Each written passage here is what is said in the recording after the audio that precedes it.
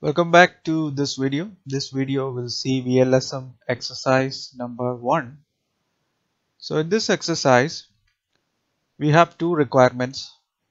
First requirement is for a library and it needs 60 hosts. The second one is a computer lab. They need 28. Okay, 60 hosts and 28 hosts and the network ID is given as 220.10.10.0 slash 24 so this is a class C address. And we have to work it out from this ID given.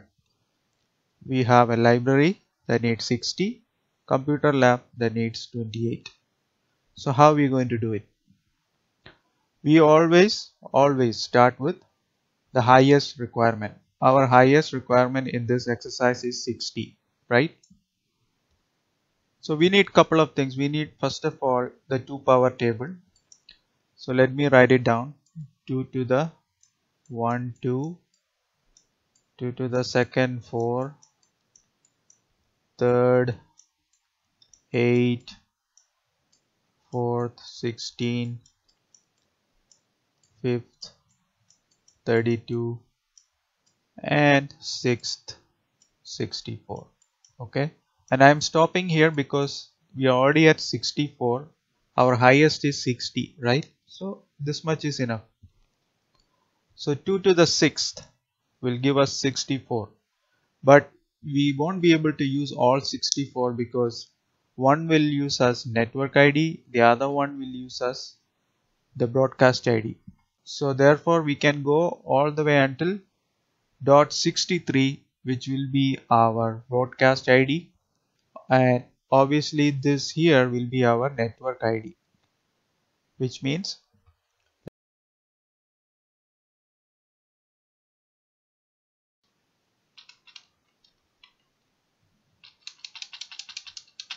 Two twenty dot ten dot ten dot sixty three. This is the broadcast, okay? This is the broadcast ID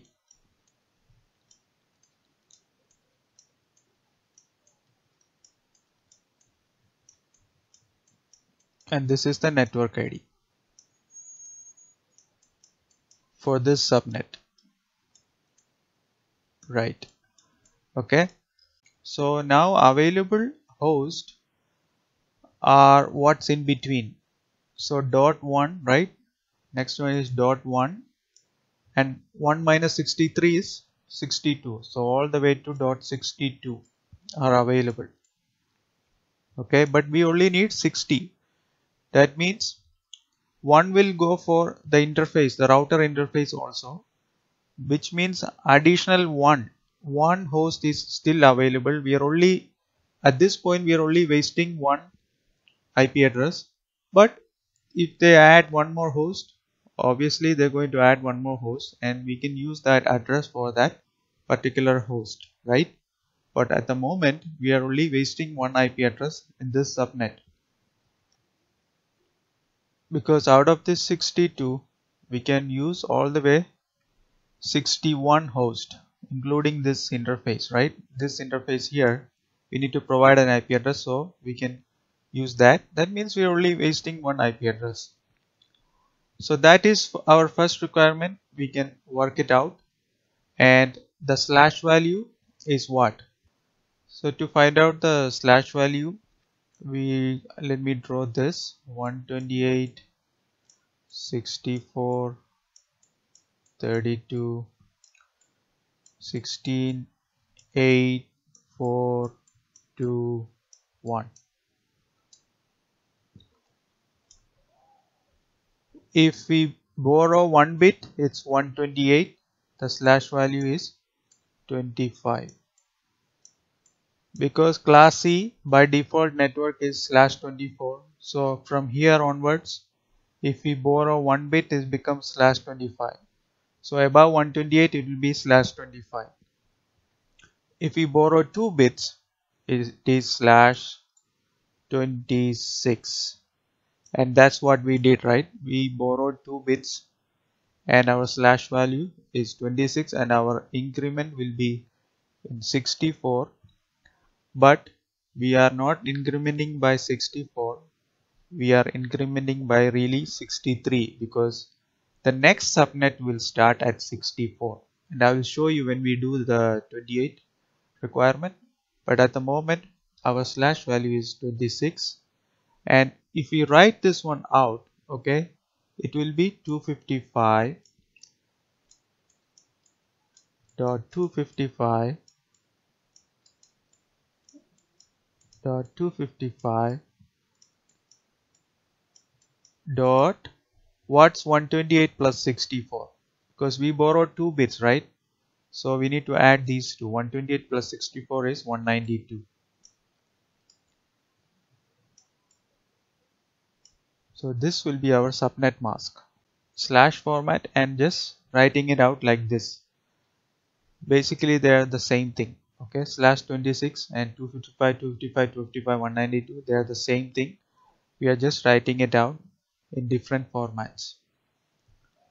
So we are ready to configure everything for the first requirement. So let's do that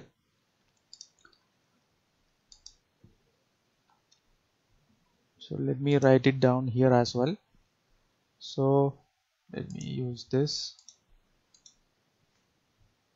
220.10.10.0 slash 24 so for the first it will start at 220.10.10.0 and it will go all the way 63 this is for the first first one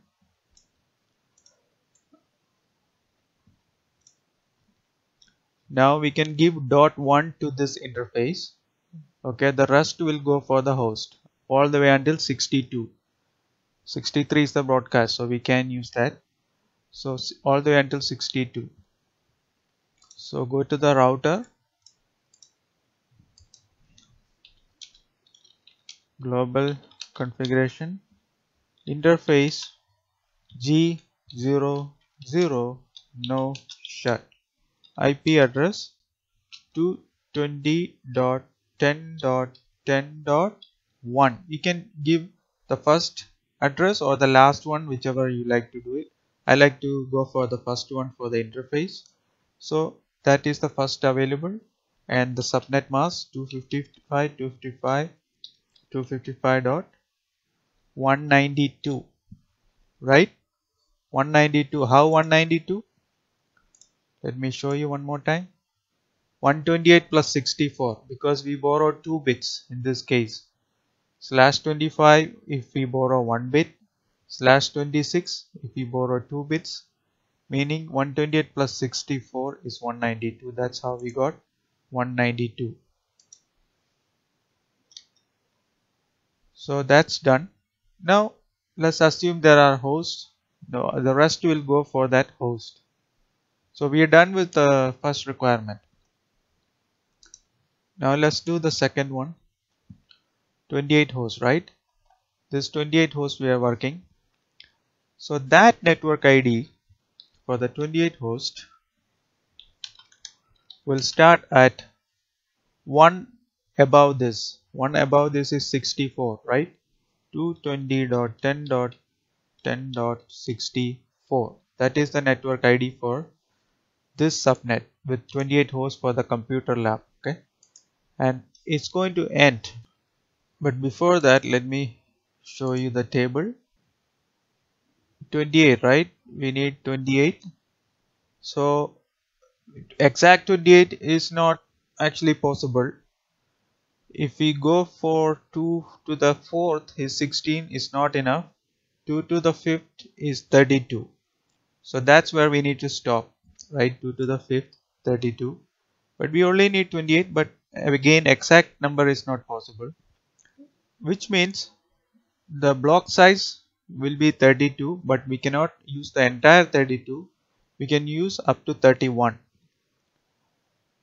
so 32 minus 2 one for network id one for broadcast is 30 so 30 hosts are there to use. And we are going to use one for this interface so the remaining 29 is usable for the host. But we only need 28 that means one additional IP is still available. We are only wasting one uh, IP at this time. But if we add one more host then we can use that IP for that particular host. So let's see now. Broadcast ID 220.10.10.95 now what's the slash value? It's again 128 64 32 16 8 4 2 1 right now if I borrow 1 bit slash 25 if I borrow 2 bits 26 3 bits 27 and that's what we did for this requirement. We borrowed 3 bits and our increment is 32 but we cannot use the entire 32 we are only using 31 but the usable hosts are actually 30 because one will go for network ID, one will go for broadcast ID. So slash 27 it just means the number of network bits. Instead of slash 24 which is the default for class C we have borrowed 3 more bits which means 24 plus 3 is 27 right right here 1 2 3 27 so if we write it down like this 255 dot 255 dot 255 dot what? We borrowed 3 bits. That means we need to add 128 plus 64 plus 32 is equal to 224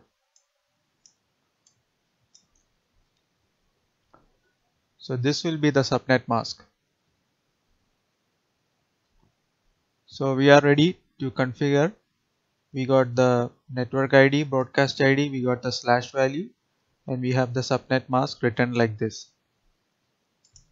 So let's go to this uh, router interface. Exit interface. We are doing this one now. G001 no shut IP address 220.10.10.65 right? 64 is the network ID we cannot use that. 64 is the network ID we won't be able to use that. The next available is 65 so that's why I'm going with 65 255.255.255. 224 224 how? Like this. 128 plus 64 plus 32 because we borrowed 3 bits so we have to add all these. The slash value above 32 is slash 27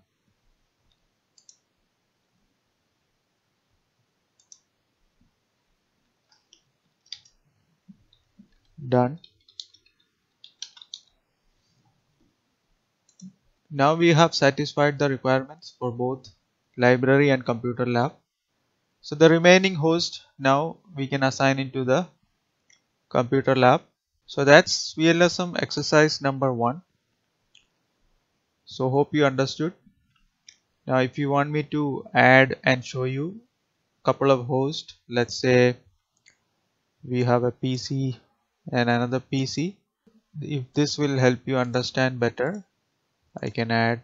Obviously I'm not going to add the entire 20 you know 8 but uh, just to show you couple you will understand. So I need to I can uh, configure DHCP here and assign them like that if I want to but if I only have two I just show you manually so this will be what? 220 dot 10 dot 10 dot 66 and the subnet mask will come like this but you need to change it because this is not the default subnet mask. Remember? So we have to change it to 224 here.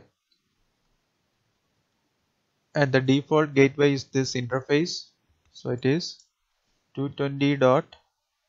220.10.10.65 this interface that's the default. Let's go to the other one. 220.10.10.67 right? Subnet mask you need to change to 224 default is 65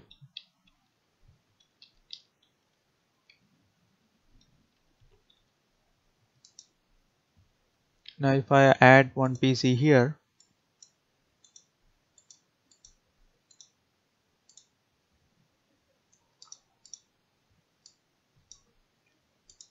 two twenty dot ten dot ten dot two because one is given for this interface.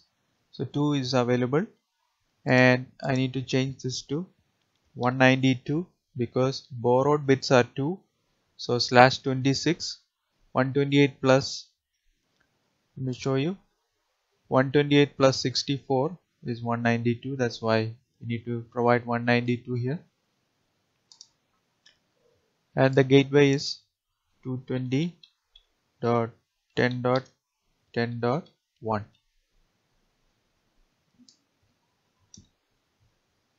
now if I try to ping to this PC will it ping? Let's see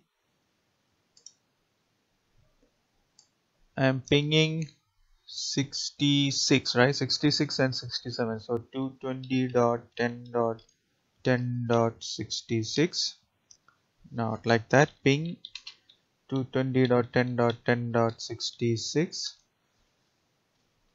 and it's doing the ARP request.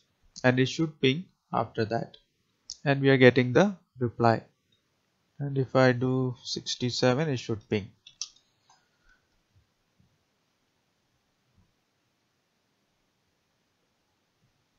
and we are getting the reply. And if I go here ping 220.10.10.2 for this PC right? This PC I am pinging. And I'm getting the reply. Now what happens if I remove the default gateway? If I remove this. Now will it ping it will not. It will fail. Because the gateway is missing. You see request timed out and it will say request timeout again. Because it cannot contact the gateway